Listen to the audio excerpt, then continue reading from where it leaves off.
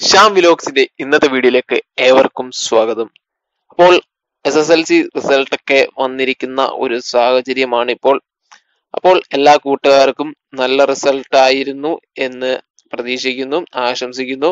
എന്നാൽ റിസൾട്ടിൽ കുറച്ച് പിന്നോട്ട് പോയവരും ഒട്ടും വിഷമിക്കേണ്ട കാര്യമില്ല.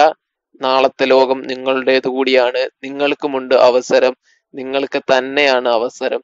ജയിക്കുന്നവർ ജയിക്കും ഒത്തിരി മാർക്ക് വാങ്ങുന്നവർ ഒത്തിരി മാർക്ക് വാങ്ങും. എന്നാൽ ഇപ്പോൾ പിന്നിലായി പോയവർ അതൊന്നും ഓർത്ത് വിഷമിക്കേണ്ട. ജയിച്ചവർ അഭിനന്ദനം അർഹിക്കുന്നു. നല്ല ഒത്തിരി മാർക്ക് വാങ്ങി ജയിച്ചവർ ഫുൾ എ പ്ലസ് മേടിച്ചവരെല്ലാം അഭിനന്ദനം അർഹിക്കുന്നവർ തന്നെയാണ്. അവർ കഷ്ടപ്പെട്ടിട്ട് തന്നെയാണ് അവർക്ക് എ പ്ലസ് കിട്ടിയത്.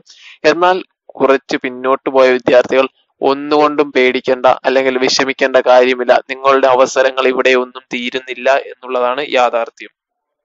പലരും ചിന്തിക്കുന്നുണ്ടാവും S S L C result വന്നു. ഇനി എന്ത് എന്നതിനെ പറ്റി. പലരും റിസൾട്ട് വരുന്നതിന് മുമ്പേ തന്നെ അവരുടെ മനസ്സിൽ ഒരു കോഴ്സ് അതായത് നിലവിൽ നമുക്ക് ഉള്ള science commerce humanities computer science എന്നിങ്ങനെയുള്ള കോഴ്സുകൾ ഏത് തിരഞ്ഞെടുക്കണം അല്ല എങ്കിൽ ഞാൻ ഏതിന് പോകും എന്ന് മനസ്സിൽ കരുതി വെച്ചിരിക്കുന്നവരുണ്ടായിരിക്കും. എന്നാൽ നിങ്ങൾക്ക് കിട്ടിയ മാർക്കിന്റെ അടിസ്ഥാനത്തിൽ നിങ്ങൾക്ക് ആ വിഷയം കിട്ടുമോ എന്നുള്ളതാണ് നമ്മളിപ്പോൾ പരിശോധിക്കാൻ പോകുന്നത്.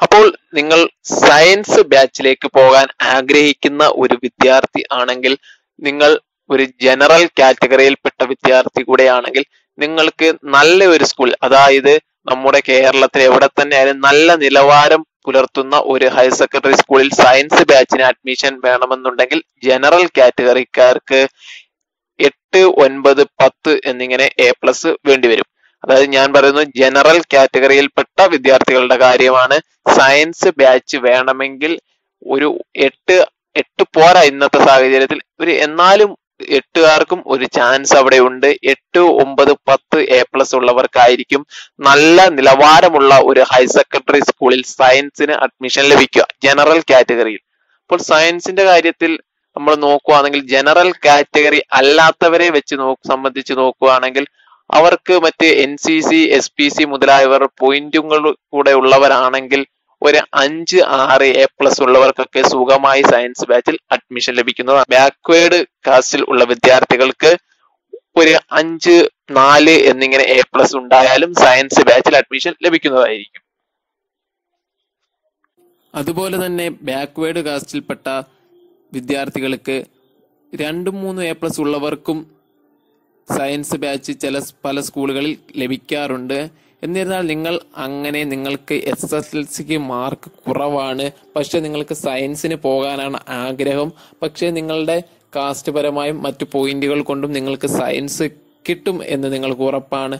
അങ്ങനെ നിങ്ങൾ സയൻസ് വെക്കുമ്പോൾ അല്ലെങ്കിൽ സയൻസ് അലോട്ട്മെന്റിന് നിങ്ങൾ വെക്കുമ്പോൾ നിങ്ങൾ ഒരു കാര്യം ശ്രദ്ധിക്കുക. നിങ്ങൾ എസ് എസ് എൽ സിക്ക് പഠിച്ച പോലെ പഠിച്ചാൽ പോരാ. നിങ്ങൾക്ക് സയൻസ് പഠിക്കാൻ ഒക്കും എന്ന് ഒരു വിശ്വാസം ഉണ്ടെങ്കിൽ മാത്രമേ നിങ്ങൾ സയൻസിലേക്ക് പോവുള്ളൂ കാരണം എസ് എസ് എൽ സിക്ക് രണ്ടും മൂന്നും നാലും എ പ്ലസ് മേടിച്ച ഒരു വിദ്യാർത്ഥിയെ സംബന്ധിച്ചിടത്തോളം സയൻസ് വളരെ ബുദ്ധിമുട്ടേറിയ ഒരു സബ്ജക്റ്റാണ് അപ്പോൾ ആ സബ്ജക്റ്റ് സെലക്ട് ചെയ്യുന്നതിന് മുമ്പിൽ നിങ്ങൾ ഒന്നുകൂടി ആലോചിക്കുക. നിങ്ങളുടെ കാസ്റ്റ് വെച്ചോ നിങ്ങൾക്കുള്ള പോയിന്റ് വെച്ചോ നിങ്ങൾക്ക് സയൻസ് അഡ്മിഷൻ ഒരുപക്ഷെ ലഭിച്ചേക്കാം. പക്ഷേ നിങ്ങൾ സയൻസിലേക്ക് പോകും മുമ്പ് നിങ്ങൾ ഒന്നുകൂടി ആലോചിക്കണം നിങ്ങളെ കൊണ്ട് അത് പറ്റുമോ ഇല്ലയോ എന്ന്. കാരണം നമ്മൾ അവിടെ ചെന്ന് എത്തപ്പെട്ടിട്ട് പിന്നെ നമ്മൾക്ക് വേണ്ടായിരുന്നു എന്ന് ചിന്തിച്ചിട്ട് പിന്നെ കാര്യമില്ല. നമ്മളുടെ ഭാവിയാണ്. അതുകൊണ്ട് നമ്മൾ മനസ്സിൽ നമ്മൾക്ക് അത് ഒക്കുമോ നമ്മൾക്ക് സാധിക്കും അല്ലെങ്കിൽ നമ്മൾ അത് നേടിയെടുക്കും എന്ന് ഉറപ്പുള്ളവർ മാത്രം സയൻസിലേക്ക് പോവുക. അടുത്തതായി കൊമേഴ്സിന്റെ കാര്യത്തിലേക്ക് നമ്മൾ വരികയാണെങ്കിൽ ജനറൽ കാറ്റഗറിയിൽപ്പെട്ട വിദ്യാർത്ഥികൾക്ക് അഞ്ച് മുതൽ ഏഴ് വരെ എ പ്ലസുകൾ ലഭിച്ച വിദ്യാർത്ഥികൾക്ക് കൊമേഴ്സ് ലഭിക്കുന്നതായിരിക്കും. അപ്പോൾ കൊമേഴ്സിനെ സംബന്ധിച്ചിടത്തോളം നമുക്ക് പഠിക്കാൻ അതായത് S L S S L സിയുടെ നിങ്ങളുടെ പെർഫോമൻസ് എന്ത് തന്നെ ആയിരുന്നാലും നിങ്ങൾക്ക് കൊമേഴ്സിന് അഡ്മിഷൻ കിട്ടിക്കഴിഞ്ഞാൽ നിങ്ങൾ കൊമേഴ്സ് നല്ല രീതിയിൽ പഠിക്കുമെന്ന് നിങ്ങൾക്ക് ഉറപ്പുണ്ടെങ്കിൽ ഒരിക്കലും സയൻസിനെ പോലെയല്ല നിങ്ങൾക്ക് നല്ല മാർക്ക് വാങ്ങാൻ സാധിക്കുന്ന ഒരു വിഷയമാണ് കൊമേഴ്സ് കാരണം മറ്റൊന്നുമല്ല ഒമ്പതിലും പത്തിലും ഒക്കെ പഠിച്ചതിന്റെ ബാക്കിയായിട്ടാണ് നമുക്ക് സയൻസിൽ പഠിക്കാനുള്ളത്. പക്ഷെ കൊമേഴ്സിനെ സംബന്ധിച്ചിടത്തോളം നമ്മൾ ഒരിക്കലും ഇന്നേ വരെ പഠിച്ച ഒരു കാര്യത്തിനെ കണ്ടിന്യൂസ് ആയിട്ട് പഠിച്ചു പോകുന്ന പോർഷൻസ് അല്ല അവിടെ ഉള്ളത്. അവിടെ ഉള്ളത് എ ടു ഇസഡ് നിങ്ങളെ പ്ലസ് വണ്ണിൽ തൊട്ട് പഠിപ്പിക്കുന്നു. അതായത് കൊമേഴ്സിന്റെ ബേസ് നിങ്ങൾക്ക് പ്ലസ് വണ്ണിൽ പറഞ്ഞു തരുന്നു. അങ്ങനെ ബേസിൽ നിന്നും ആണ് കൊമേഴ്സ് സ്റ്റാർട്ട് ചെയ്യുന്നത്. അപ്പോൾ ഏതൊരു വിദ്യാർത്ഥിക്കും അത് എളുപ്പം പഠിച്ചെടുക്കാൻ പറ്റുന്ന ഒരു വിഷയമാണ് എന്നിരുന്നാൽ തന്നെ കൊമേഴ്സിനെ നിങ്ങൾ വില കുറച്ച് കാണരുത്.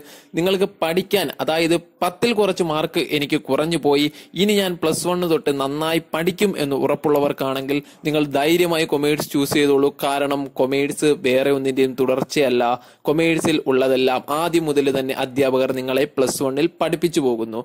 എന്ന് അതിനാൽ തന്നെ പ്ലസ് വണ്ണിൽ ഞാൻ നല്ല രീതിയിൽ പഠിക്കും. അല്ലെങ്കിൽ പ്ലസ് ടുവിൽ ഞാൻ നല്ല രീതിയിൽ പഠിക്കും. പത്ത് വരെ എനിക്ക് ഉണ്ടായിരുന്ന പോരായ്മകൾ ഞാൻ നികത്തും എന്നുറപ്പുള്ള വിദ്യാർത്ഥികളാണെങ്കിൽ തീർച്ചയായും നിങ്ങൾ കൊമേഴ്സ് ചൂസ് ചെയ്യുക. നിങ്ങൾക്കുള്ള കറക്റ്റ് ഓപ്ഷൻ കൊമേഴ്സ് ആണ്.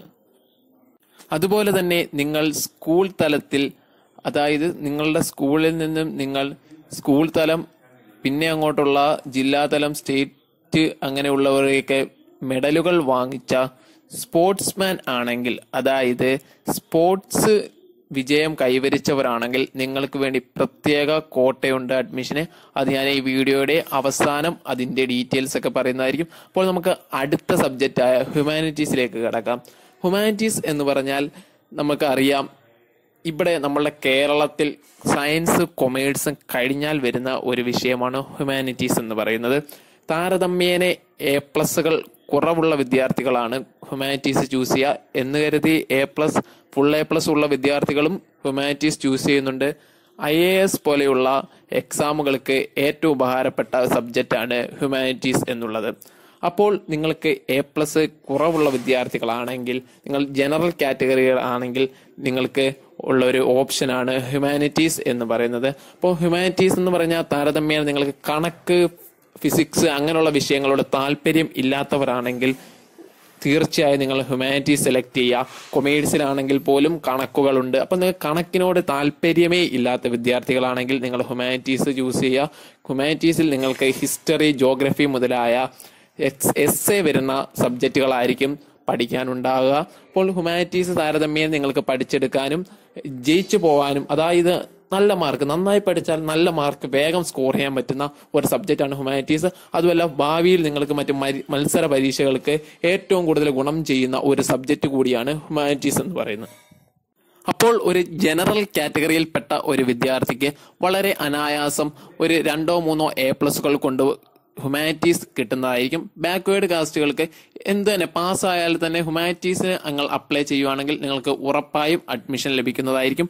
അപ്പോൾ നിങ്ങൾക്ക് കണക്കിനെ ഭയമാണ്. അല്ലെങ്കിൽ കണക്കിനോട് താല്പര്യമില്ല എന്നുണ്ടെങ്കിൽ നിങ്ങൾ ഹ്യൂമാനിറ്റീസ് സെലക്ട് ചെയ്യുക. പിന്നെ നിങ്ങൾ ഉറപ്പായും പഠിക്കുമെന്നുണ്ടെങ്കിൽ മാത്രം നിങ്ങൾ സയൻസ് സെലക്ട് ചെയ്യുക. നിങ്ങൾക്ക് പത്ത് വരെ പിഴവുകൾ പറ്റി എന്നാൽ ഇനി അങ്ങോട്ട് ഞാൻ പുതുതായി പഠിച്ചു തുടങ്ങും എന്ന് ഉറപ്പുള്ളവരാണെങ്കിൽ കൊമേഴ്സിലേക്ക് പോവുക. അപ്പോൾ നിങ്ങൾ സ്പോർട്സ് കോട്ട അതായത് സ്പോർട്സ് കോട്ട എന്ന് പറഞ്ഞ് കുറച്ച് സീറ്റുകൾ സർക്കാർ മാറ്റിവെക്കാറുണ്ട്. അതായത് സ്പോർട്സിൽ നല്ല മികവ് കാട്ടിയ വിദ്യാർത്ഥികൾക്കായി മാറ്റിവെക്കുന്ന അനേകം സീറ്റുകളുണ്ട് അപ്പോൾ നിങ്ങൾ സ്പോർട്സ് കോട്ടയിൽ അപേക്ഷിക്കുമ്പോൾ നിങ്ങൾ ശ്രദ്ധിക്കേണ്ട ഒരു കാര്യം. നിങ്ങൾക്ക് ഒരുപക്ഷെ എ പ്ലസുകൾ കുറവാണെങ്കിൽ പോലും സ്പോർട്സ് കോട്ടയിൽ നിങ്ങൾക്ക് സയൻസ് ബാച്ചിന് അഡ്മിഷൻ ലഭിച്ചേക്കാം അല്ലെങ്കിൽ കൊമേഴ്സ് ബാച്ചിന് അഡ്മിഷൻ ലഭിച്ചേക്കാം. അപ്പോൾ നിങ്ങൾ ശ്രദ്ധിക്കേണ്ട ഒരു കാര്യം. ഞാൻ വീഡിയോയുടെ തുടക്കം പറഞ്ഞതുപോലെ തന്നെ സയൻസ് പഠിച്ചെടുക്കാം എന്നുണ്ടെങ്കിൽ മാത്രം അല്ലെങ്കിൽ സയൻസിൽ എനിക്ക് താല്പര്യമുണ്ട് ഞാൻ പഠിക്കും എന്നുണ്ടെങ്കിൽ മാത്രം ആ സ്പോർട്സ് കോട്ട ഉപയോഗിച്ച് നിങ്ങൾ സയൻസിന് അഡ്മിഷൻ എടുക്കാം. നിങ്ങൾക്ക് പത്തിൽ നിങ്ങൾ വലിയ ഉഴപ്പായിരുന്നു. ആ ഒരു നിലവാരമേ നിങ്ങൾക്ക് സോറി ആ ഒരു നിലവാരമേ നിങ്ങൾക്ക് തുടർന്നും പുലർത്തുവാൻ കഴിയൂ എന്ന് ഉറപ്പ് ഉണ്ട് എങ്കിൽ നിങ്ങൾ ഒരിക്കലും സ്പോർട്സ് കോട്ട വഴി സയൻസിന് അഡ്മിഷൻ എടുക്കാൻ നോക്കരുത്. കാരണം സയൻസ് താരതമ്യേന ടഫാണ് നിങ്ങൾക്ക് പഠിച്ചെടുക്കാൻ വളരെ ബുദ്ധിമുട്ടായി തീരും. വിദ്യാർത്ഥികൾക്ക് സയൻസ് പഠിക്കുമ്പോൾ കുറെ പോരായ്മകൾ വരും. കാരണം അവർ ഒരു തോൽവിയിലേക്ക് തന്നെ പോകാൻ ചാൻസ് ഉണ്ട്. കാരണം സയൻസ് എന്ന് പറയുന്നത് നമ്മൾ അത്യാവശ്യം കുത്തിയിരുന്ന് പഠിക്കേണ്ട ഒരു സബ്ജക്റ്റ് തന്നെയാണ്. അപ്പോൾ അങ്ങനെ സ്പോർട്സ് കോട്ട ഉള്ളവർ അങ്ങനെ സയൻസ് എടുത്താൽ വിജയിക്കും. അല്ലെങ്കിൽ സയൻസ് ഞാൻ പഠിച്ചെടുക്കുമെന്ന് ഉറപ്പുണ്ടെങ്കിൽ മാത്രം സയൻസിലേക്ക് പോവുക. അല്ലെങ്കിൽ നിങ്ങൾ കൊമേഴ്സ് ഹ്യൂമാനിറ്റീസോ ചൂസ് ചെയ്യുന്നതായിരിക്കും നിങ്ങൾക്ക് ബെറ്റർ അപ്പോൾ ഈ ചാനൽ ഇതുവരെ സബ്സ്ക്രൈബ് ചെയ്തിട്ടില്ലാത്തവർ ദയവായി ചാനൽ സബ്സ്ക്രൈബ് ചെയ്യുക. നിങ്ങളേക്കുള്ള മറ്റ് അഡ്മിഷൻ സംബന്ധമായ വിവരങ്ങളുമായി വീണ്ടും വരുന്നതായിരിക്കും. അപ്പോൾ എല്ലാ വിജയിച്ചവർക്കും വിജയാശംസകൾ. എന്നാൽ കുറച്ച് പിന്നോട്ട് പോയവർ ഒരിക്കലും നിങ്ങൾ പരാജിതരല്ല. നിങ്ങൾക്ക് ഇനിയും അവസരങ്ങളുണ്ട്. കുറച്ച് പിന്നോട്ട് ഇപ്പൊ പോയെന്നും കരുതി നിങ്ങൾ ജീവിതത്തിൽ ഒരിക്കലും പിന്നോട്ട് പോകില്ല. നിങ്ങൾക്ക് ഇനിയും അവസരങ്ങളുണ്ട്. ഇനിയുള്ള ലോകം നിങ്ങളുടേത് കൂടിയാണ്. അപ്പോൾ ഇനിയുള്ള പ്ലസ് വൺ പ്ലസ് ടു മറ്റ് ഞങ്ങൾ എവിടെ പോയാലും നിങ്ങൾ ഉയർച്ചയിലെത്തട്ടെ എന്ന് ആശംസിക്കുന്നു.